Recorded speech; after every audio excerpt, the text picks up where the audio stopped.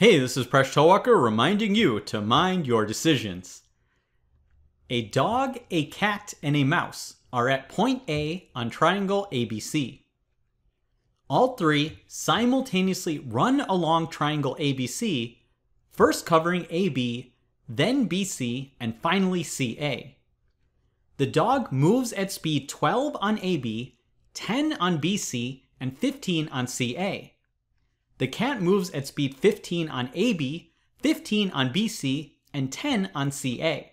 The mouse moves at speed 10 on AB, 20 on BC, and 12 on CA. If all three finish at A at the same time, what is the measure of angle ABC? I thank Zaki for suggesting this problem. Pause the video if you'd like to give it a try, and when you're ready, keep watching to learn how to solve this problem.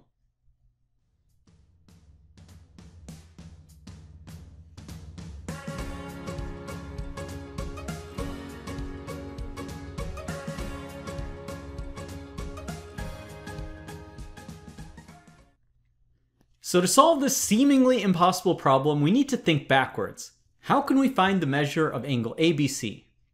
Recall that a triangle's angles are determined by the relative lengths of its sides. So let's solve for the ratio of the sides.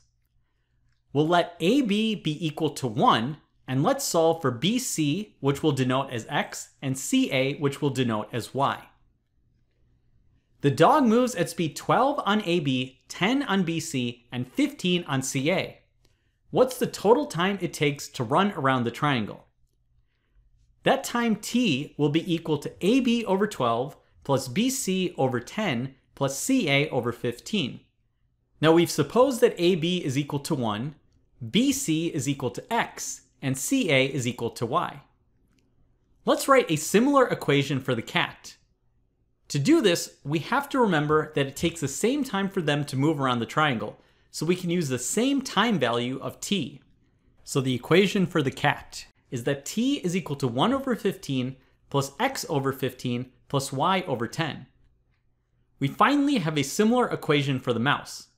We substitute in its speeds along the different sides. We now have three equations that are all equal to t. To make this a little more manageable, let's multiply each equation by 60 to get rid of the denominators. We now have three equations that are all equal to 60t. Therefore, we can set these three equations equal to each other. Let's solve this system of equations. We'll first consider the first two equations. We can move the x terms to the left, the y terms to the right, and we end up that 1 plus 2x is equal to 2y. This simplifies to be 1 half plus x is equal to y. Now let's look at the second and third equations. We again simplify this and we get x plus y is equal to 2. We then substitute in that y is equal to 1 half plus x. We can then get a single equation in one variable x, which we can solve that x is equal to 3 fourths. We substitute that back and solve that y is equal to 5 over 4. So we've solved for the relative sizes if AB is equal to 1. But I still don't know the angle ABC. Let's scale all sides by a common ratio of 4.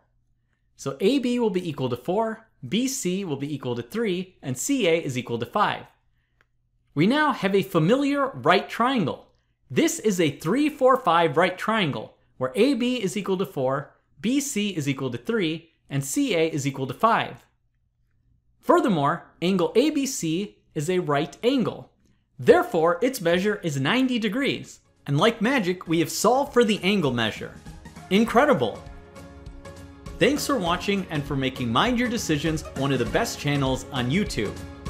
Thanks for watching and thanks for your support.